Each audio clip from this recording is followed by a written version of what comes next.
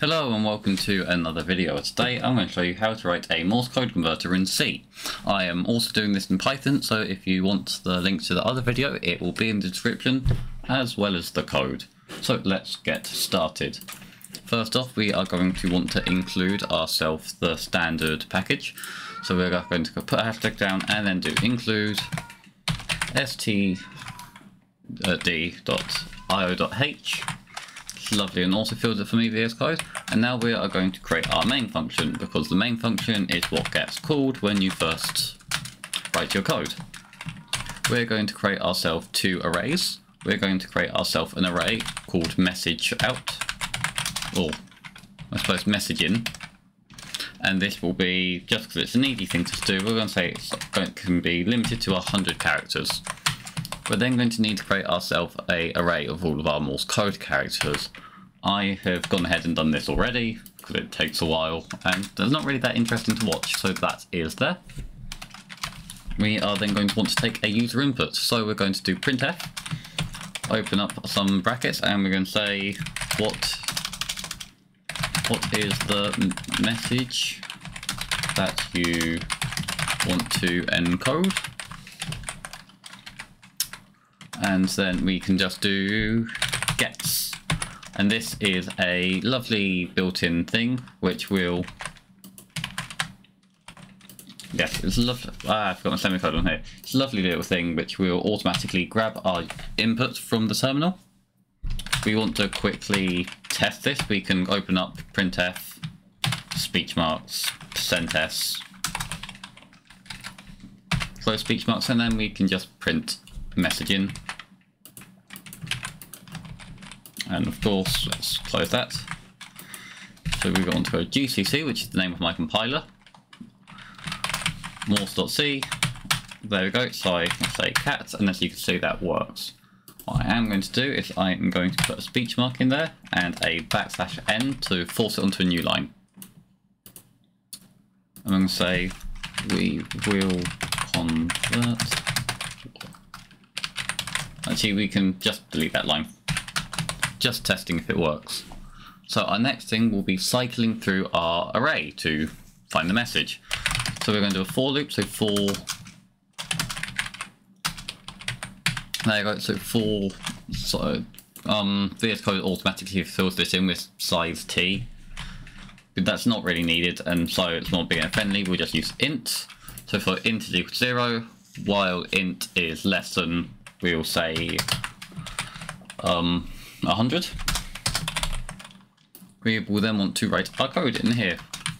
So what we're going to do here, we're first going to check if we've hit the end of our string, which is really easy to do, which is if message.in square brackets i is equal equal to open up ourself a uh, I believe they're called columns, which is like the single speech marks. And then we want to do backslash O. And backslash O is a termination character and it will be at the end of every string.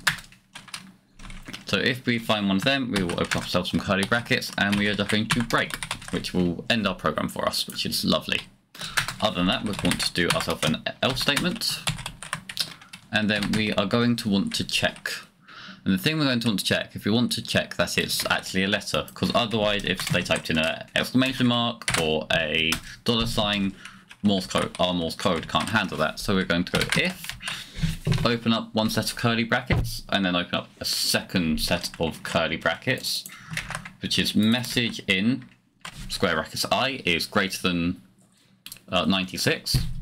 Close one set of curly brackets, and message.in is less than 123. And the reason we're doing this is because more uh, the range of letters or the alphabet starts at 97 goes to 122 so we're just making a range.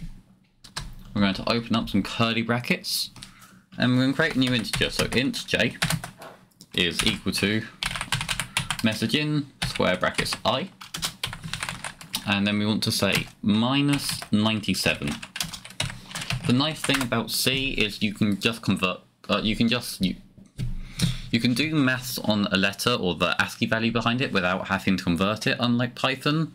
And that's because C looks at everything as a number. And to make life easier, we're just going to print, open up some brackets.